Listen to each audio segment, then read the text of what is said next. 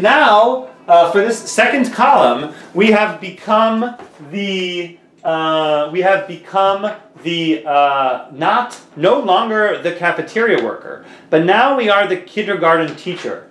In other words, now we have a different uh, candy bar to kindergartners disbursement protocol in which um, the, the, the, the, the candy bars are just delivered in a big pile to the teacher, and the kindergarten teacher is going to divide up the piles. But now the kindergarten teacher is actually going to hand the objects to the students, and so now which uh, person gets which bag is therefore highly relevant. And that's why every one of these uh, uh, um, problems in this second column have containers distinguishable, which is to say the containers now are the kindergarteners, the kids themselves, who are all distinguishable from each other. And so now it matters who, which kid gets which bag, so to speak. Okay, uh, well, what's the situation? Our objects are indistinguishable. And so we have just n Snickers bars, so we're assuming now that the bars are all the same. Um, and we have k uh, kids, um, and not empty, so this is no uh, kid can get a, uh, empty bag. So this is pretty nice. Everyone's getting the same uh, kind of candy bar, and no one's getting nothing. But it's still not fair because uh, one kid can get like a lot of bars, and one kid could just get one bar. How many ways are there to do this? Well, this should be a familiar problem, right? We're just trying to figure out uh, if we have all the kids, how many ways are there to, to give everyone, uh, uh, to distribute these bars? Well, think of it like this. If every kid has to get at least one bar, then let's first of all just give every kid uh, a candy bar, a Snickers bar. If we give, if we give every kid a Snickers bar, looking for a particular marker. If we give every kid a Snickers bar, then there are n minus k um, bars uh, remaining.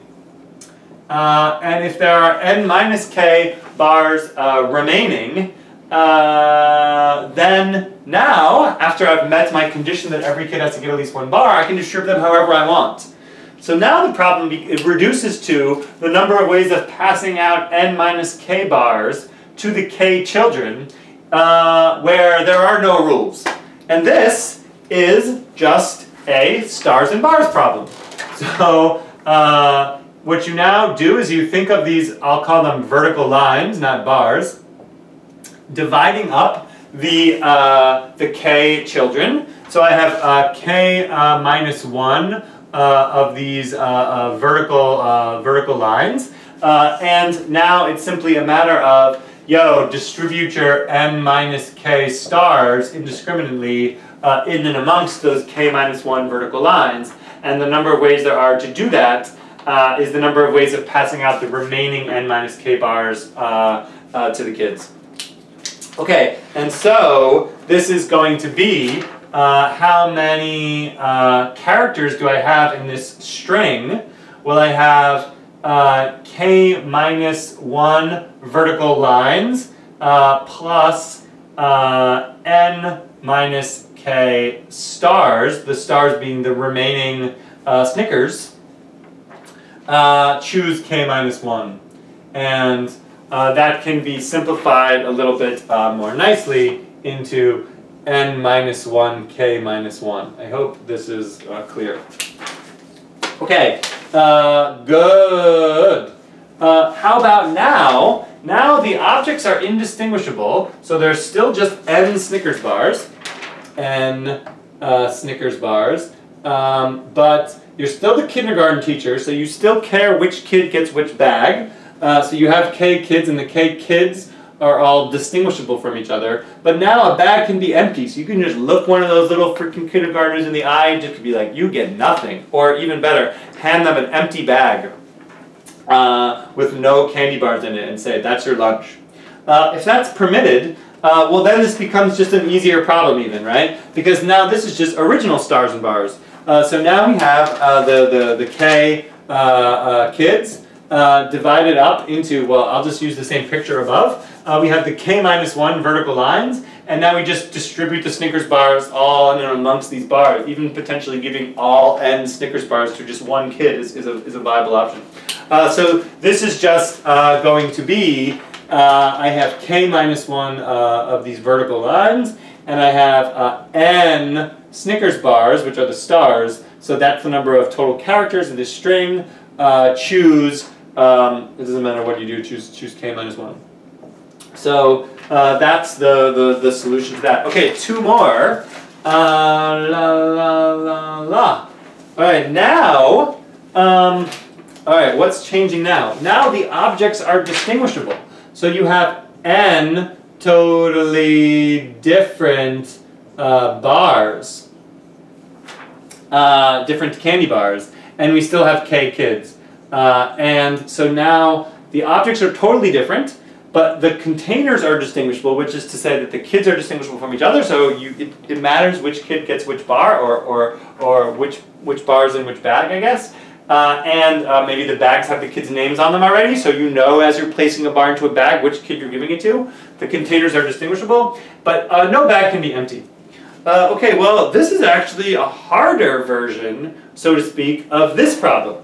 In this problem, the objects were distinguishable, they were all different bars. The containers were indistinguishable. And he, now the containers are distinguishable. Well, I think there's a clear relation between these two problems, uh, which is that in this case, if you're the kindergarten teacher, um, uh, one way to solve this problem is to ask the cafeteria worker in advance to just like prepare uh, the n totally different, that sucks, that says n totally different Snickers bars, n totally different candy bars is what I meant to say from 10 minutes ago.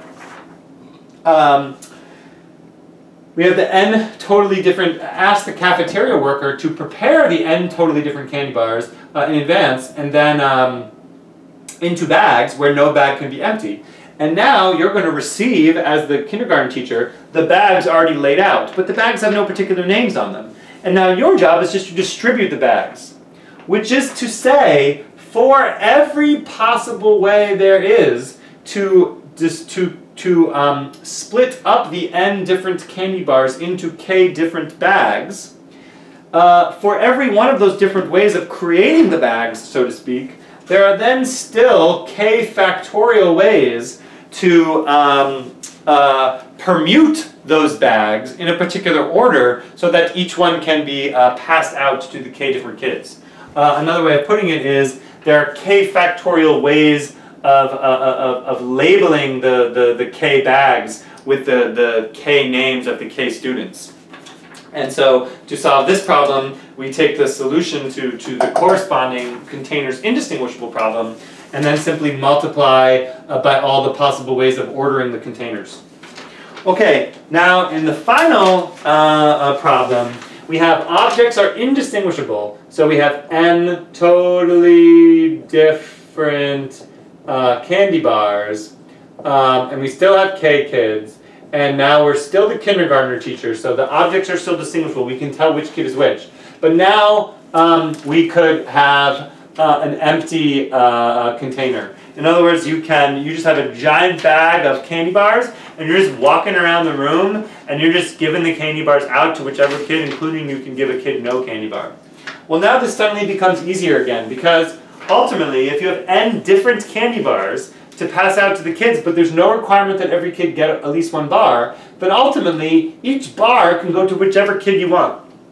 And so, take the first candy bar, the Milky Way. Who should it go to? Well, you have uh, K choices. Uh, because you have K children, you can give it to whichever child you want. Now go to the, the Three Musketeers. Who should the Three Musketeers go to? Well, once again, you have K choices. You can give it to any one of the K children. And you just do that on a bar by candy bar by candy bar basis. You just give it to any one of the K children.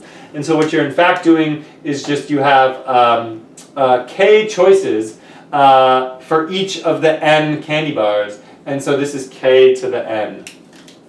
Okay. Um, a couple of these we already knew how to do before today. It was really just, actually it was really just this one, this one, and this one. Um, but now, with the expansion of our vocabulary to these partition numbers and to Stirling numbers of the second kind, combined with some other sort of counting principles, we now have a solution to sort of all eight uh, possibilities uh, uh, regarding the, the, the containers, the, um, the objects and whether the containers are permitted to be empty. These are called occupancy problems. Uh, and then there's going to be some homework on this. All right. Goodbye.